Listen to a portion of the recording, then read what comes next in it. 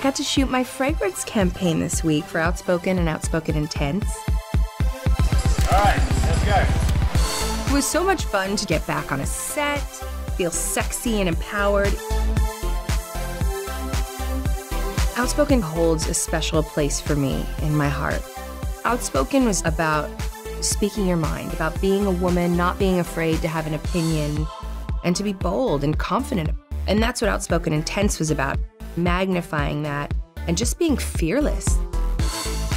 These fragrances are really personal to me, and I hope that women everywhere can feel the same empowerment I do when I put them on. My son was on set. He pretty much stole the show.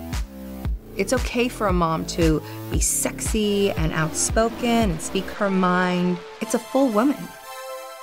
Can you handle it? What?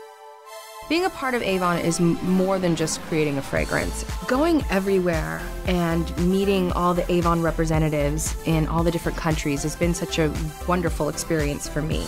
From Russia to Brazil to the United States, it's about getting a sense of family, being part of a unit that helps support women, and I'm all about that. No matter what, be outspoken and live life.